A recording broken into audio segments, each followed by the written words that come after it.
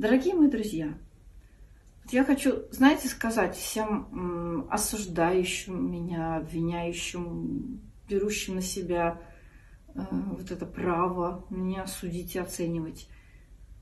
Мои золотые, вы понимаете, вот мне 46 лет. И после всего того, что я сделала в России и вообще вот на сценах мировых, прославляя нашу страну, да, я вообще могу сидеть дома, курить свой кальян, знаете, пить свою просека и ничего не делать. Но это не мой путь. И не вам судить меня, каким путем мне идти, потому что у меня свой. Я не останавливаюсь на достигнутом. Во-первых, я вас приглашаю на свой спектакль 26 апреля. Пожалуйста, в Красногорске, в театр Подмосковья. Вот. Должна сказать, что вот помимо двух ипостасей, э, балетный зал и э, театр, и сцена, я могу делать в своей жизни все, что угодно. Просто вам не дает покоя. Моя радость, мое счастье, то, что я всегда в любви, всегда окружена любовью мужчин, да, и что моя сексуальность не дает вам покоя. Слушайте, мои золотые, ну, мне нечего сказать, потому что меня, конечно, извините, а все эти судебные заседания с писанием под елочку. Мои золотые, вы знаете, я просто ржу над этим, потому что у меня другого пути нет и другого варианта. Потому что если к этому всему относиться серьезно, потому что вы устраиваете, это не я устраиваю, это вы устраиваете инсинуации вокруг моего имени.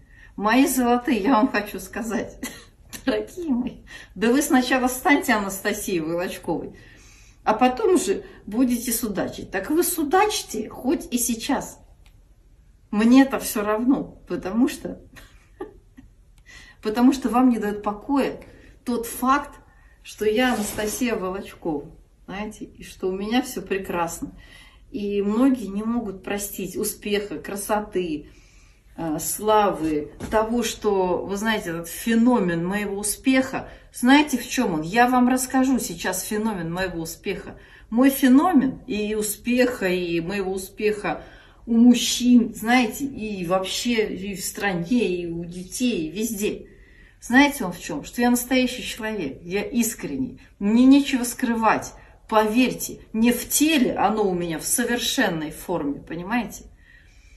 Не в творчестве в моем, потому что приходите на спектакль 26 апреля, приглашаю еще раз, да, не в жизни моей, потому что она прекрасна, понимаете? Вот. Не в любви, потому что она у меня есть, она повсеместна. Не в том, что я остаюсь человеком добропорядочным, каким и была, вот это феномен, понимаете, остался человеком. Если вы будете таковыми, вы будете под куполом Бога и ангелов-хранителей. Потому что единственный щит людей вообще в этой жизни, в нашей, да и вообще всегда, может, во Вселенной, когда вы не отвечаете злом на зло, и когда вы остаетесь людьми, Мои золотые, вы взяли на себя смелость меня судить и рассказывать, сколько я выпила этого просека. Да сколько хочу, столько и пью. Да, я его пью с клубничным соком и со свежей клубникой. Понимаете? Сегодня людям есть нечего многим, а я с просека с клубникой. Но зато у меня есть аргумент вам сказать. Я в своей жизни могу делать все, что я хочу. Но я всех зрителей на протяжении 20 лет – Приглашаю на все свои спектакли и концерты абсолютно бесплатно. И вас всех, и 26-го все. Я не делаю рекламу сейчас моему спектаклю, она не нужна мне, эта реклама вообще ни на один спектакль или концерт.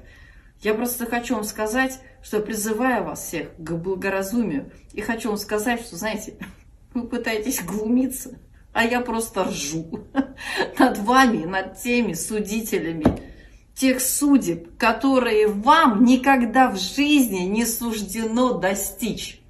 Вот что я хотела сказать, мои золотые. Берегите свои души.